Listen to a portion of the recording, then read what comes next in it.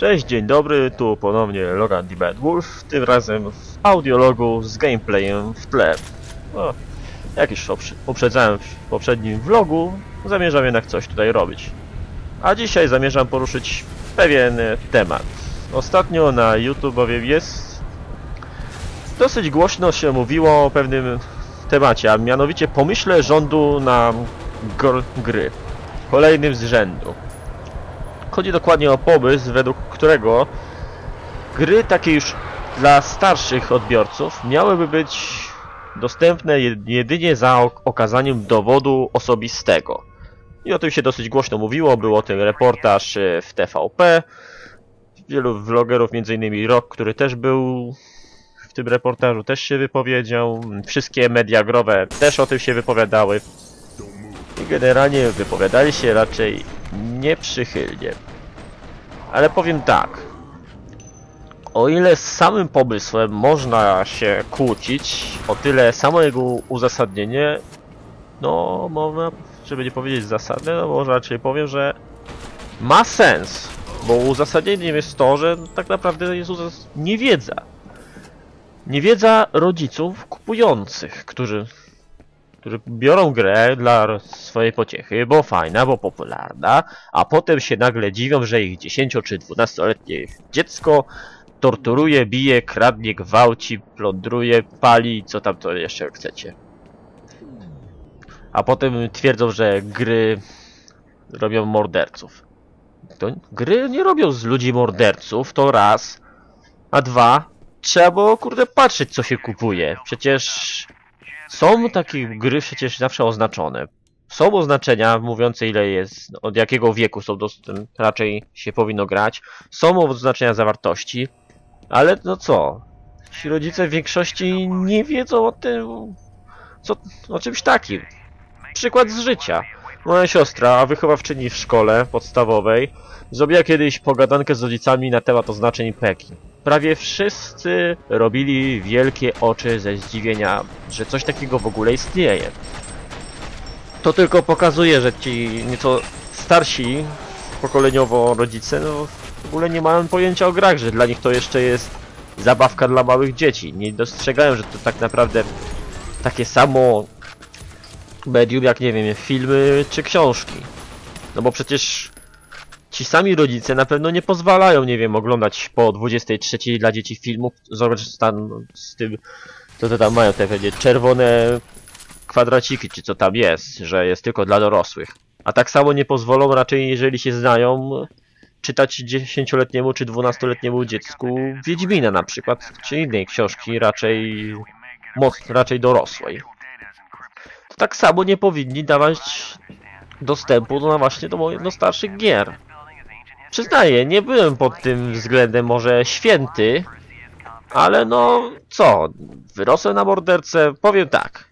Ostatnio widziałem w telewizji film, jeden z tych głupawych filmików, to gdzieś na TVN Turbo, jak to jakiś koleś dostał wyzwanie, żeby zjeść kijankę i on to zrobił. To chyba. Po prostu mi się, powiem szczerze, cofka mi się włączała. I co? To oznacza, że gra, którą zabiła we mnie wrażliwość? Nie. Ale jednocześnie ma to pewien jednak wpływ na, na umysły takiego dziecka. Ja jestem przykładem tego, że, na, że nie musi mieć. Bo przyznaję wprost, nie byłem święty, że miałem, nie wiem, to była piąta klasa podstawówki, ja grałem w gry takie jak, nie wiem, mało znany, albo mniej Project IGI, czy nieco bardziej znany Red Faction 1, czy Serious Sam. A jednocześnie, a nie wyrosłem na morderczycy skrzywionego człowieka bez e, uczuć. Z drugie, ale z drugiej strony, moi rówieśnicy, niektórzy, którzy gr zaczęli grać dużo wcześniej też grali w te same tytuły, no powiem szczerze, powiem wprost, bez ogródek i prosto z mostu i nawet trochę brutalnie. Niektórzy z nich to potem, to potem się stala, stawali, kurczę, nie wiem jak to ubrać w słowa, żeby to jakoś brzmiało. Ale po prostu zrobił się z niektórych z nich kawał chuja. Tak to ujmę dosłownie. Bo tak naprawdę na moją psychikę większy wpływ mieli właśnie takie za przeproszeniem, chuje, które mi tylko dogryzały, dokuczały, a nawet i wręcz prześladowały, niż właśnie gry. Ale jednocześnie nie uznaję, że sam pomysł, żeby dzieciom nieletnim nie sprzedawać gier jest zły. Wręcz przeciwnie. Uważam, że to dobry pomysł, że jakoś ograniczyć dostępność gier dla dzieci, a przynajmniej żeby rodzice byli świadomi, co kupują, że nie tak, że właśnie tak jak wspomniany wcześniej dwunastolatek dostaje grę dla 18 lat, czyli na przykład dajmy na to już to nieszczęsne GTA 5, które też było na jedynce. Albo nie wiem, Dead Space któreś, albo znowu Call of Duty. Czy co tam jeszcze może być? Co tam? Czekajcie. Co my tu mamy może być jeszcze? Nie, na... a nawet taki Team Fortress 2. W teorii jest dla 16 lat, ale no kreskówkowa grafika, ale jednak tam się ludzi rozrywa na strzępy rakietą. Powiem, a to jednocześnie też nie powinno mieć miejsca. No, sam miałem na polskich serwerach nieraz sytuację, że nagle mi się w mikrofonie, w słuchawkach odzywał jakiś dzieciak. I to z wrzaskiem najczęściej. Dlatego właśnie na polskich serwerach między innymi jest y, zakaz używania mikrofonu przed mutacją. Dlatego między innymi ja kiedyś na, nagrałem audiologa, że dzieci nie powinny mieć dostępu do mikrofonów. No ale to nie o tym mam mówić, mówić o tym nieszczęsnym reportażu TVP. Owszem, można mieć e, zastrzeżenia co do samego pomysłu, ale tak naprawdę pomyślmy sobie, rozważmy teraz za i przeciw. Za. Jest, jest człowiek dorosły. To co mu do tego? Alkohol tak wystarczy, że sprzedadzą mu na gębę, wystarczy, że zobaczą na przykład mnie, że jestem człowiekiem dorosłym i mi na gębę sprzedadzą, a nawet jeśli poproszą, to pff, co mi, co mi wielki za pro problem. Pokażę i już. Zresztą tak samo to działa z alkoholem. Często i tak sprzedam na gębę, więc, tak, więc no tu nie widzę wielkiego problemu. A jeśli nie, nie masz tych 18 lat i chcesz kupić tą 18-letnią grę, no, no możesz mieć z tym owszem problem, ale no co? Jeśli jesteś już w miarę ogarnięty, najmniej na to już jesteś w tym liceum czy w innej szkole i naprawdę jesteś ogarnięty, to moim zdaniem to nie problem. A jeśli nie jesteś, jesteś też takim właśnie kawałem chuja, jakim wspominałem wcześniej, no to to ci chuj w dupę. Będę mówił chyba brutalnie w tym filmie, bo czasami trzeba. Uznaję, że sam... Uznaję, że generalnie... Może pomysł nie już tak przemyślając to nie do końca. Ale ja widzę rozwiązanie. Uświadomienie. Żeby rodzice byli świadomi, że tak naprawdę w 90% przypadków to rodzic nie ma pojęcia jaką grę kupuje, że dla rodzica takiego zwłaszcza starszego, który już nie wrósł w to pokolenie gier komputerowych albo jeszcze wychowywał się na pokoleniu, którym e, grało się, nie wiem, jakąś Amigę, Atari czy inne rzeczy, gdzie, gdzie to była jeszcze zabawka, to on jeszcze, taki rodzic w większości przypadków wychodzi z założenia, że to wciąż jest tylko zabawka, gra komputerowa czy gra konsolowa. Nie mówię, że wszyscy, bo na przykład e, wystarczy na przykład spojrzeć na ludzi takich jak Rock. Wiadomo, on nie ma 18 czy 20 lat, a jednak ma pełną świadomość grania i tych, co się za tym kryje. Albo na przykład rodzice już tacy młodsi, którzy jednak już też co nieco wiedzą o grach, to zwracają na takie rzeczy uwagę.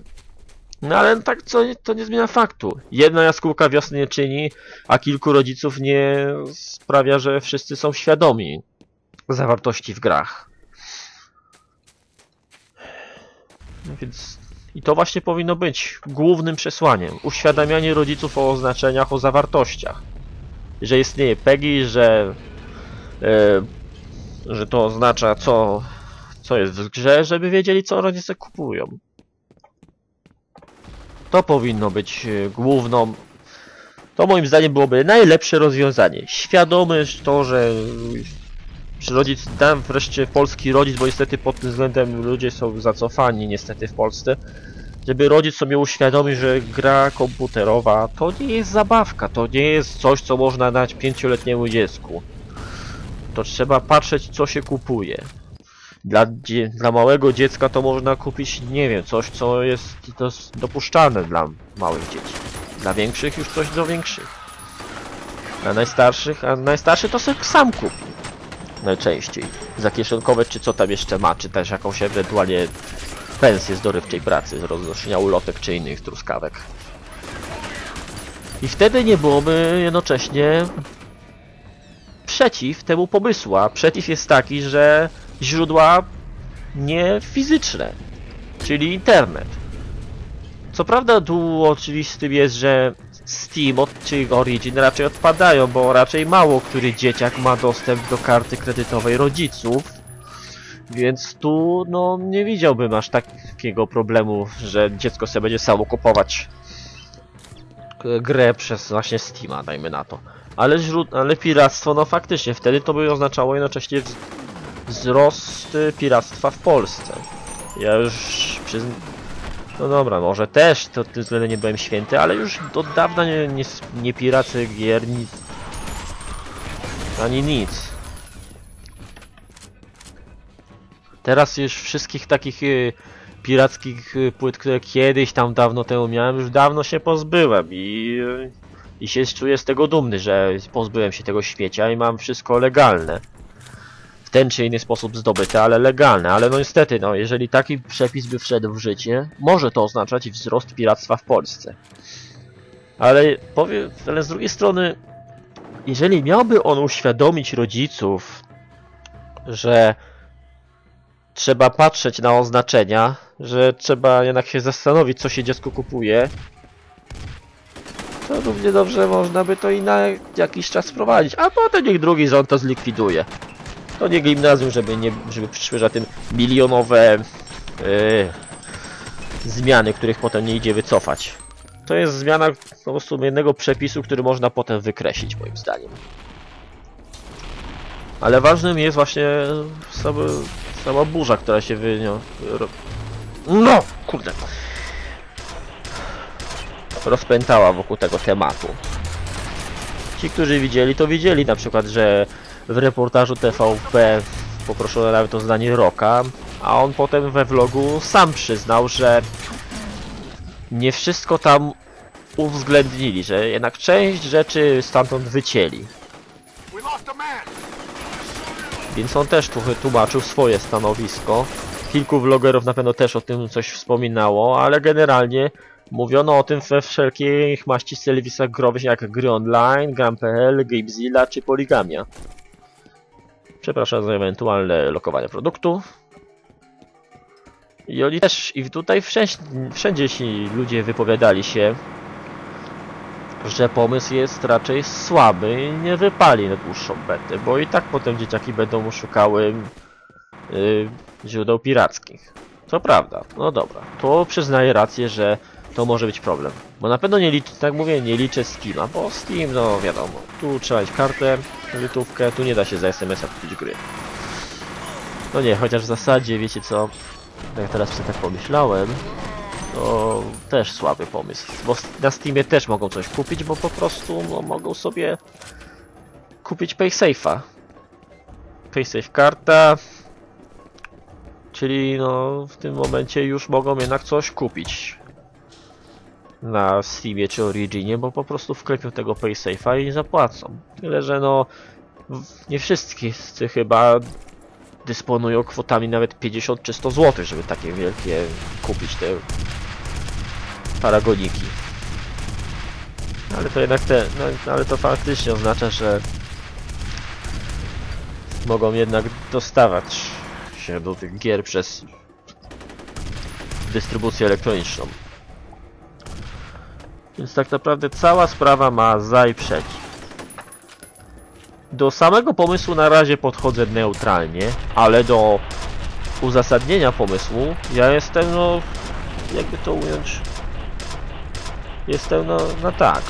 Chodzi głównie, czyli chodzi mi, żeby rodzice byli w końcu świadomi co kupują. Żeby nie kupowali byle co, bo to poprosiło dziecko, bo, bo jest popularne.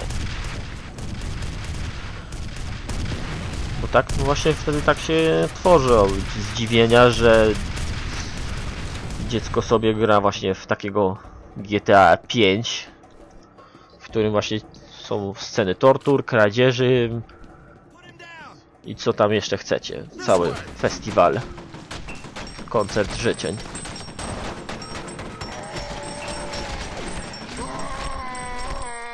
Znowu brakuje słowa. Za nie mówiłem, bo chyba wszystko, co miałem powiedzieć, to powiedziałem. Świadomość. To jest kluczowe w, w kupowaniu gier. No ale no co no. Powiem też tak. Dopóki naszym, po, nasz, naszym pokoleniem młodszym będzie rządzić pokolenie jeszcze, które jest ubóstwem jeszcze w PRL-u, że, no, które stwierdza, że skoro wtedy się dało, to teraz też się da, bo niestety taka jest sytuacja. I którzy jeszcze myśl, jak myślą gra komputerowa, czy gra na konsolę, czy w ogóle gra wideo, to widzą na przykład zabawkę w postaci Amigi, czy innej Atari, czy Pegasusy, no to pewnie, że będą myśl, że potem będą zdziwienia, czemu dziecko gra w takie rzeczy. A potem dajmy na to jakiś jeden czy dwóch po tym po czymś takim zacznie świrować. Nie mówię, że generalnie jak ktoś gra, to wszyscy świrują. Ja nie ześwirowałem, a znaczy, a bardziej na moją psychikę miał wpływ właśnie różne prześla cwaniaczki prześladujące słabszych. Ale kto wie, czy na nich te, to też nie miało wpływu, taka właśnie gra, bo powiem szczerze, że ci, którzy mnie się czepiali, to najczęściej ludzie, którzy zaczęli grać te same gry co ja dużo wcześniej. Dużo wcześniej, bo ja chyba... Przepraszam, chyba mail. Nie wiem, czy to słyszeliście, mail mi przyszedł. Ja zacząłem chyba rok czy dwa po moich kolegach grać, bo dopiero rok czy dwa po nich dostałem dopiero komputer swój pierwszy w piątej klasie podstawówki, a oni już wcześniej mieli swoje. Więc kto wie, może miało to na nich wpływ, a może po prostu od zawsze byli chujami. Tylko po prostu się z tym dobrze kryli. Niemniej jednak uważam, że powinni, rodzice znaczy powinni ktoś, powinni dostać kopa w żyć i żeby właśnie zaczęli być świadomi. O, to, był, to byłby najlepszy pomysł. Żeby zrobić jakieś w telewizji, tak jak się robiło te krótkie e, filmiki o cyfryzacji, tak samo powinno się chyba zrobić w coś w podobnym stylu, publiczny projekt, uświadamianie rodziców o zawartości w grach. I wtedy nie będzie zdziwienia, że nagle dziecko rozczłonkowuje ludzi, czy inne potwory, albo torturuje ich. A potem sobie jedzie jak gdyby nigdy nic i wynajmuje hm, tirówkę, tuftę, zwana też powszechnie dziwką. I sobie, sobie ją urządza upojną wieczorek w samochodzie, sprawdzając resory. I wtedy, takich te zaskoczeń wtedy nie będzie, jeśli będą rodzice świadomi. I wtedy można całkowicie też zrezygnować z projektu do gry na dowód, albo na, no, no, na dowód, albo na gębę dorosłego. A można i wtedy też wprowadzić, bo wtedy co, co wielkiego się wtedy stanie. I tak rodzic, jeżeli będzie świadom, że gry są nie tylko dla dzieci, że to nie są tylko zabawki, że to są takie same media jak filmy, które mają różne kategorie wiekowe, takie same jak książki, które też mają różne kategorie odbiorców, to jeśli nawet jeśli będą się rodzice świadomi i takie coś się wprowadzi, to tak naprawdę wtedy i tak rybka, bo nawet jeśli by weszło i rodzic byłby świadom, to niekoniecznie musiałby kupować takiej gry dziecku. I takie jest moje stanowisko. I tego się będę trzymał. Jeśli ktoś uświadomi rodziców, to ten projekt może wchodzić, może nie wchodzić. Bo to nie będzie miało większego znaczenia. To by było na tyle. Trzymajcie się. Cześć.